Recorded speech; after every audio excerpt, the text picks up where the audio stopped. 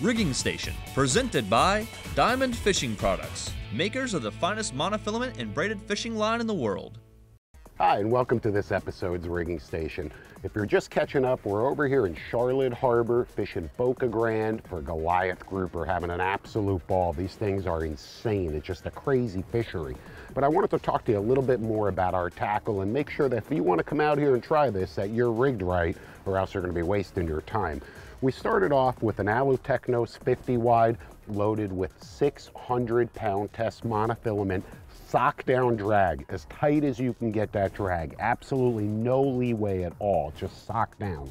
Reels matched to a Chaos Rodzilla rod. Roller guides rated for 80 to 130 pound line. This is just about the heaviest rod that Chaos will build. Again, you really need some beefy, beefy equipment. Not only because you have an opportunity of hooking fish that might be four or 500 pounds, but also because it's really just down and dirty fishing. You're pulling these fish out of really just intense rubble and intense debris up along those pilings, and you need something that can withstand that.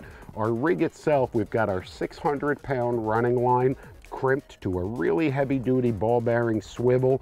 From there, we've got a thousand pound leader, about four or five feet, thousand pound. Again, this is rubbing up on those pilings and you can see from all of the fish that we've caught here today, the leader's just all chafed up already, but still works, that's for sure. Make sure that your connections are crimped. I mean, you've got to have solid connections. Again, there's absolutely no leeway here. From there, the working end of the rig, We've got a 16 ounce egg sinker. That's what's gonna take your bait right to the bottom. That's crimped in place to a 20-0 circle hook. Sounds like a super big hook. It is a super big hook. But again, these fish are huge and you need a large hook that'll hook that fish right in the corner of the mouth so you can also release them as quickly as possible. And that's another benefit to this tackle. These fish are protected and a lot of them are spawning. You don't want to exhaust these big Goliaths. You want to hook them, you want to battle them, get them to the surface as quickly as possible, take a couple pictures while that fish is in the water and get him back on his way as quickly as possible.